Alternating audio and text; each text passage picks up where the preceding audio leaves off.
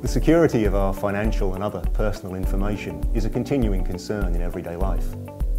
The personal identification number, or PIN as it's more commonly known, associated with your chip and PIN card is the safeguard that it can only be used by you.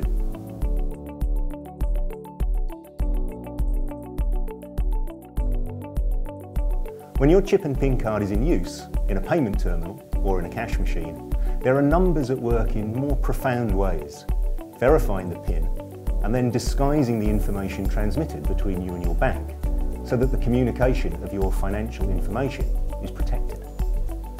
The mathematics at work here was not developed recently or with information security in mind. Much was developed within pure research into number theory, abstract algebra, information theory and complexity theory.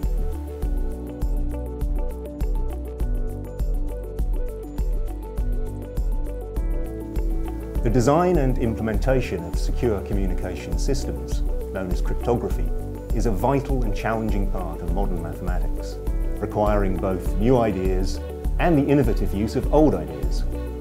Public key cryptography, as developed in the late 20th century, made ingenious use of 19th century mathematics, the number theory of modular arithmetic, that was there, ready and waiting. Our reliance on passwords and pins means we have to rely on hidden mathematics within the systems in order to keep things secure.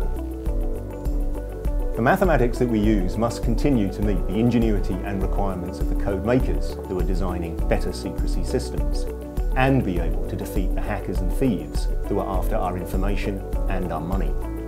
The new ideas and the new uses of old ideas will come from continuing research in areas such as abstract algebra, which is my own area of research at Heriot-Watt University.